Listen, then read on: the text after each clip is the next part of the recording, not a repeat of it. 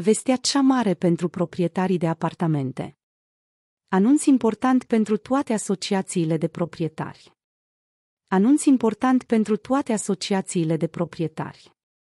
Primăria Municipiului București, PMB, a demarat aplicarea tratamentelor împotriva gândacilor în subsolul blocurilor de locuințe din capitală. Tratamentele împotriva gândacilor sunt gratuite.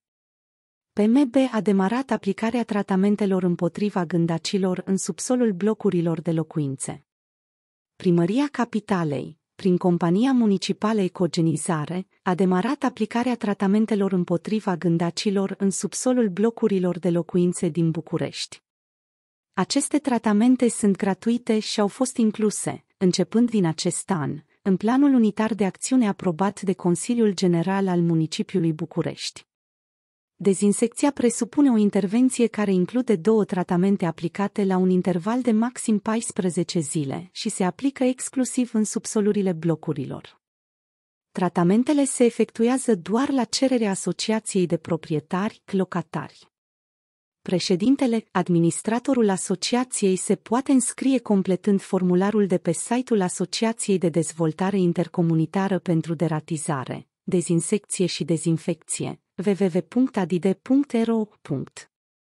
Pentru întrebări sau neclarități, puteți contacta Asociația de Dezvoltare Intercomunitară pentru Deratizare, Dezinsecție și Dezinfecție la office arondadide.ro sau tel 0790192540,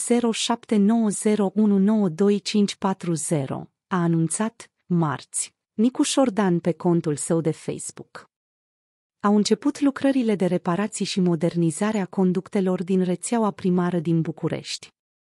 Luni, 15 mai 2023, Termoenergetica a anunțat că au început lucrările de reparații sau modernizare prin care vor fi montate vane și vor fi înlocuite porțiuni de conducte din rețeaua primară, în toate sectoarele municipiului București.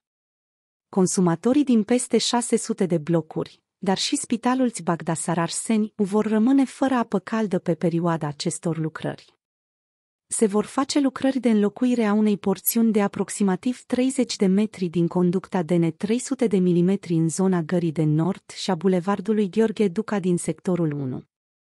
Pentru aproximativ 35 de blocuri din acest sector, va fi sistată furnizarea agentului termic pentru apă caldă până joi, 18 mai 2023, ora 23.30.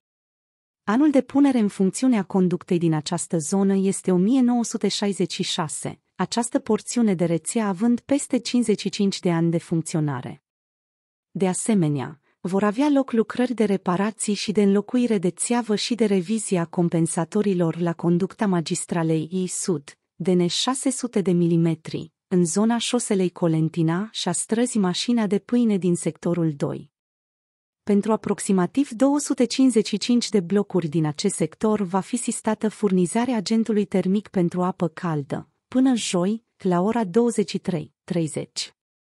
Anul de punere în funcțiune a conductei din această zonă este 1986, această porțiune de rețea având peste 35 de ani de funcționare. Unde vor mai avea loc lucrări de reparații? Alte lucrări de reparații vizează conducta magistralei I-Sud, de 600 de milimetri, în zona bulevardului Camil Resu din sectorul 3. Pentru aproximativ 40 de blocuri din acest sector va fi sistată furnizarea agentului termic pentru apă caldă tot până joi, la ora 23.30. Anul de punere în funcțiune a acestei conducte este 1967, această porțiune de rețea având peste 55 de ani de funcționare se vor face și lucrări pentru finalizarea montării conductei DN 300 de mm pe șoseaua Berceni din sectorul 4.